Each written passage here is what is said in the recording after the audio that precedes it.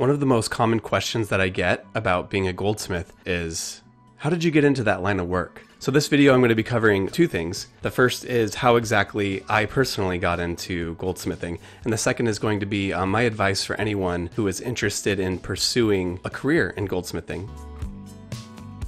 So, there are certainly many paths to becoming a goldsmith. There's not just one right way, but I would say there is one way to rule them all. You take a journey through Mordor. The way that I got into goldsmithing was back in 2001, I was just a young spring chicken and I got a call from an extended family member and he's a goldsmith. And he asked me, um, Hey Jordan, would you like to come work for me as a polisher? So, after three years of working as a polisher, I graduated high school and I moved away. I took a hiatus. A couple years later, I was out living with my friends in a college town, going to school part time, sort of living the dream, if you will. And my family member reached back out to me and said, Hey, how would you feel about working for me full time as an apprentice? I'll never forget, I was riding in the car with my brother, kind of like going through the pros and cons. And I specifically remember him saying, He's handing you this um, career on a silver platter. You have to take it. you know, he was totally right. I was able to start learning more of the actual trade of goldsmithing how to size a ring, how to tighten a stone, how to straighten prongs, how to solder rings together, how to do chain repairs. After doing that apprenticeship for a while, I um, decided to move back to where my friends were because I'm like in my early 20s at this point, and I, I was feeling like I was missing out on life, you know, kind of naively thinking that. Um, so I moved back and I was eventually able to land another apprenticeship. So I guess the whole apprenticeship years is what I would call them was about four to five years. So in total, I was able to apprentice under three different master goldsmiths. It was truly an invaluable experience to be able to learn from them one on one. And eventually, the time came where I had all the skills necessary to go out on my own.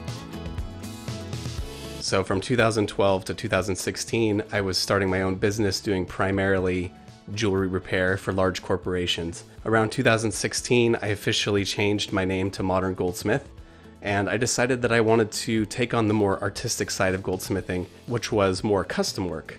I really started to get more satisfaction out of not doing the um, routine sizings day in and day out, rather building something from scratch, working more with people to create like engagement rings or custom jewelry that was sentimental. So yeah, now I'm happy to report that it is I'm going into year 8 of being my own boss, being a goldsmith and working for people all over the world doing custom jewelry and honestly, I love my job. So now I'm going to cover the second part of the video, which is talking about how someone can get into goldsmithing. I always um, tell people it's a good idea to get your feet wet a little bit. Goldsmithing equipment is very expensive. Um, to set up a bench, it requires room to do that.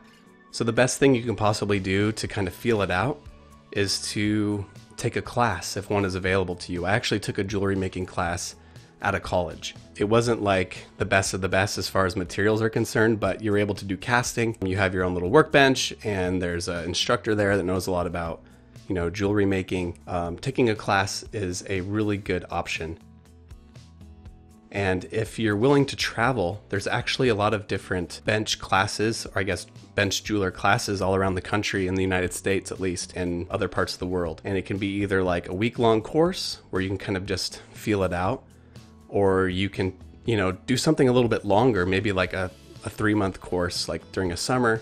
And there's also um, actual jewelry schools that you can go to. So you know, learn as much as you can on someone else's equipment is my first um, piece of advice I would give.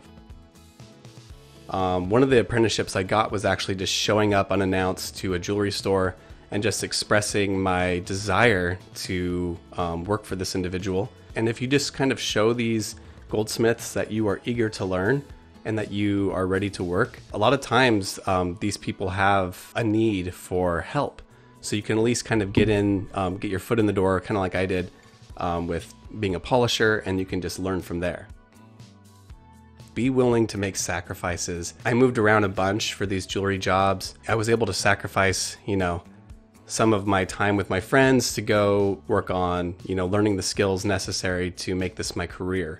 And it certainly wasn't easy at the time, but looking back now, it's obviously like one of the best decisions I made was to be willing to travel somewhere. Another thing you might have to be willing to do is to work in less ideal situations. Just try to find any opportunity. One of my first jewelry jobs, um, I ended up getting paid like diddly squat. It was like $5 and something an hour, and it was just absolutely atrocious. but um, I was just happy to be there, and I thought, well, if I'm not going to be getting paid well as far as like um, monetary payment, I'm going to ask this person as many questions as I can and to try to get my my hands-on experience on as many pieces of jewelry as I can. So that way I'm like kind of making up for it in skill because the more skill you have, the more desirable you are to potential employers and the more money you can make. The last piece of advice I would give is to just be patient when it comes to finding a jewelry position. Um, it can be quite discouraging to be asking around for a jewelry job and no one's taking you in, I guess. However, patience is very key and persistence. There was one opportunity I had. It literally took me a whole year to get the position, and that was at a, a, company called Jared's, the Galleria of Jewelry. It can only be Jared. You know. so they had an apprenticeship position at Jared's, and I had gone in there and there was four goldsmiths that were working in this huge shop and i was just looking through the glass window and saying how awesome it would be to work there. And the manager he was super nice guy. Um, he said man i really wish i could hire you but we only have you know four goldsmiths working here.